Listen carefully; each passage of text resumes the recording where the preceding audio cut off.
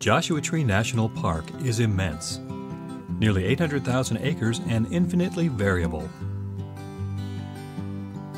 It can seem unwelcoming, even brutal during the heat of summer.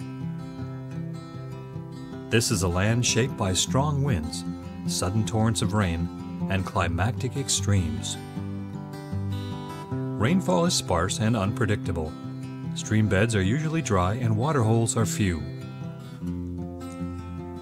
For a first-time visitor, the desert only hints at its vitality. Closer examination reveals a fascinating variety of plants and animals. Two deserts, two large ecosystems primarily determined by elevation, come together in the park. Few areas more vividly illustrate the contrast between high and low desert. Below 3,000 feet, the Colorado Desert, occupying the eastern half of the park, is dominated by the abundant creosote bush. Adding interest to this arid land are small stands of spidery ocotillo and cholla cactus. The higher, slightly cooler, and wetter Mojave Desert is the special habitat of the undisciplined Joshua tree, extensive stands of which occur throughout the western half of the park.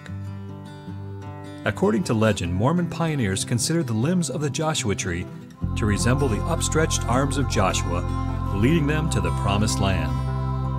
Others were not as visionary. Early explorer John Fremont described them as the most repulsive tree in the vegetable kingdom.